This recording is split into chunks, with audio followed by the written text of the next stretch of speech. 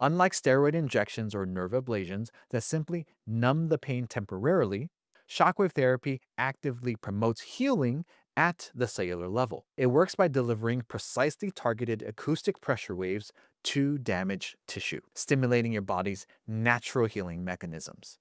This increases blood flow, reduces inflammation, and activates stem cells exactly where they're needed the most. The recent groundbreaking study that highlights these results was published in the respected International Journal of Surgery.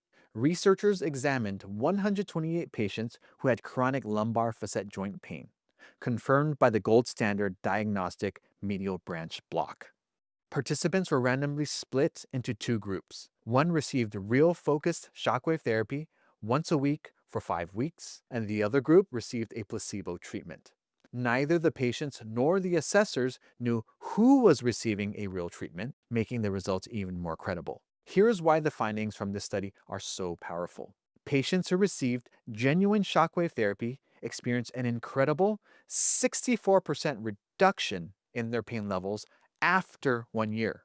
Disability scores improved dramatically by over 42% translating to significant improvements in day-to-day activities like walking, working, and playing without that constant nagging discomfort. Remarkably, MRI scans demonstrated visible reductions in bone marrow edema, a key factor associated with chronic pain in nearly 60% of treated patients.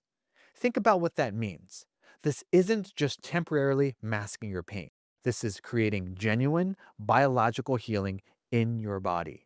And these weren't just short-lived results. Follow-up assessments at 6 and even 12 months showed that patients maintained their improvements, indicating true long-term healing rather than just temporary relief. I've seen the real-world impact of this treatment firsthand here at HealthFit.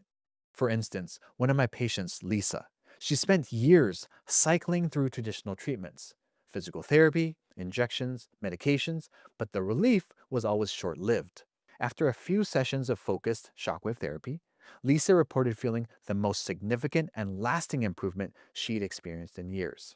She could finally enjoy her daily walks without pain and play with her grandkids without hesitation. Stories like Lisa's reinforces why scientifically backed treatments like shockwave therapy are so essential. One of the greatest advantages of focused shockwave therapy is that it's completely non-invasive.